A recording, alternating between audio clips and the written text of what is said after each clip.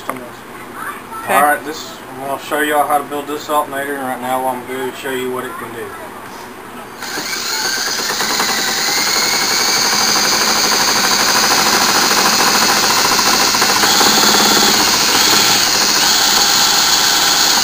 Just under a thousand RPMs. It's putting out good charging voltage. Just under a thousand. Point the camera at this gauge up here. And now I want you to see what it does on the. Tyler.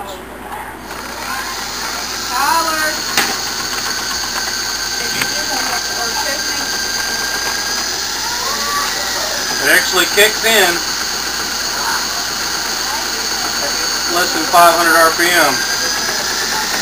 But it's using more voltage than it's taking until it reaches right at almost a 1,000 RPM.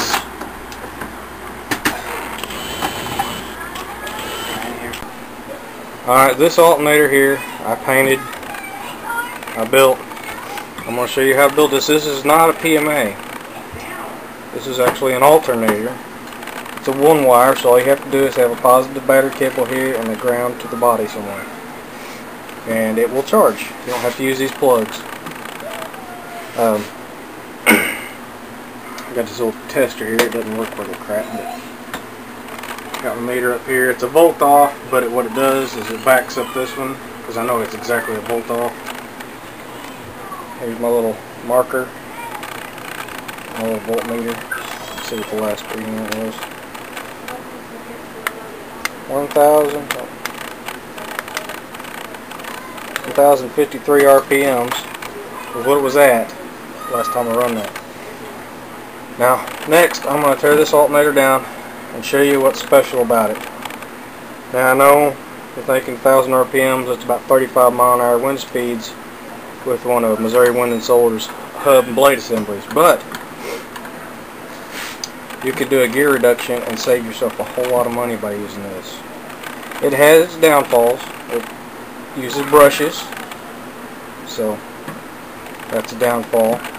Uh, it has a regulator. It has several points of weakness that a PMA doesn't, but you can control the voltage and you don't have to have uh, a load diversion because it'll automatically adjust itself to where when the battery's fully charged, it'll just spin. It won't, it won't add any more to the battery. It knows when to shut itself off. Um, these things are designed to take 8,000 RPM, so you ain't got to worry about it coming apart. Uh, it's good for geothermal, not geothermal, uh, hydro. Be perfect for hydro because you easily maintenance it that way. But I'm going to show you how to take this thing apart and uh, how I built it and what you got to have to build it. And uh, I'm going to be working on another project trying to get that actual charging voltage to be at where it should be when this thing's running about 5 to 600 RPMs. Right now it kicks in at about 500 RPMs. It actually starts, the alternator starts at about 500 RPMs, but it doesn't actually put out charging voltage till almost just just a hair under a thousand RPMs. But uh, I'll get back to you with another video giving details. I will actually disassemble this, show you everything in it, where to get it, and how to do this all yourself. Um, this one is actually brand new. This case, this has never been on a vehicle. Uh, I bought it brand new, and then I modified it. Uh, I will keep you posted.